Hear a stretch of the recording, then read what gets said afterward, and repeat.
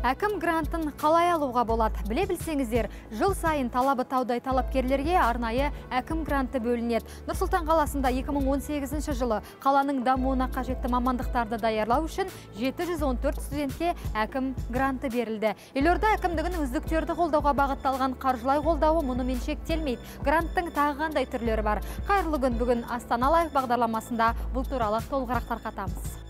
Нұрсұлтан қаласы әкімдігі қаланың жан жақты даму үшін түрлі салаларға қаржылай қолдау көрсетуде. Айталық кәсіпкерлікті дамыту үшін көп балалы аналарға биылдан бастап қайтарымсыз гранттар беріле бастады. Ал білім саласына келсе, қала басшылығы еңбек нарығына талдау жасай келе педагогикалық, медициналық және техникалық мамандықтардың жетіспейтіндігін анықтап, тапшылықты жою үшін білім гранттарын бөлді. Талап бойынша бірінші кезекте ұлттық бірыңғай тестілеуден мейлінше жоғары балл алғандарға басымдық жасалды. Сондай-ақ көп балалы және тұрмысы төмен отбасынан шыққан үміткерлерге жеңілдік берілді. Нәтижесінде қазіргі таңда елордада 704 студент әкім грантымен білім алуда.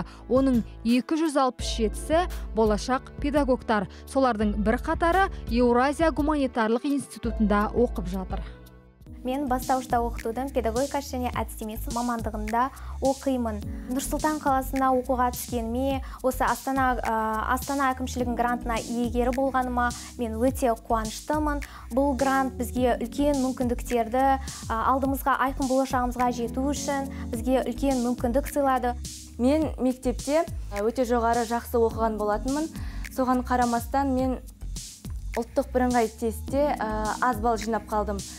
Көңілім әрине көңіл күйім түсті бірақ нұрсұлтан қаласына келіп осы евразия гуманитарлық институтына ақылы оқуға тапсырған болатынмын. Және де арадан біраз уақыт өткеннен кейін олар маған хабарласып нұрсұлтан қаласының әкімдігінен грант бөлініп жатыр. Келіп конкурсқа жазып кетіңіз. Мүмкін грант иегері болып тегін оқисыз деген маған ұсыныс айтқан болатын. Әкім грантына ие болған студенттер толық жатақханамен қамтылған. Оның алды 2023 жылы жоғарғы оқу орын тәмамдайды. Талап бойынша олар қаладан алыстап кетпеуі тиіс. Нұрсұлтан қаласының әкімдігі және университет студент арасында үш жақты келісім жасалды. оқу бітіргеннен кейін студент міндетті түрде Астана Нұрсұлтан қаласы білім ұйымдарында жұмыс жасауға міндет.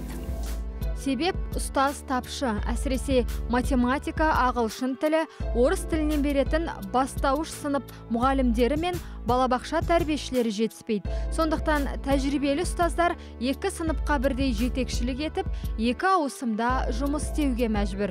Енді әкім грантымен оқыған студенттер диплом алса ол жүктеме біршама азаяры сөзсіз. Болашақта мен мамандығымның ә, мектепте сабақ беріп балаларды тәрбиелеп оларды болашаққа жол көрсетіп ә, болашақта жол көрсетіп өзінің ә, армандарын орындауына өз үлесімді тигіземін.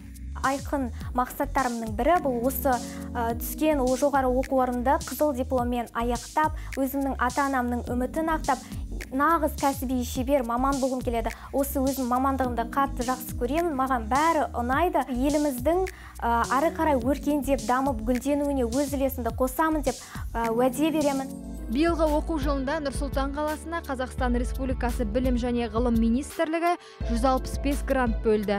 Аталмыш грант тек көп балалы және атаулы әлеуметтік көмек алатын отбасылардың балаларына берілуі тиіс. Соған сәйкес 47 түлек іріктеуден өтті. Олар қазір педагогика ақпараттық технология мейрамхана және қонақ үй бизнес саласында білім алуда.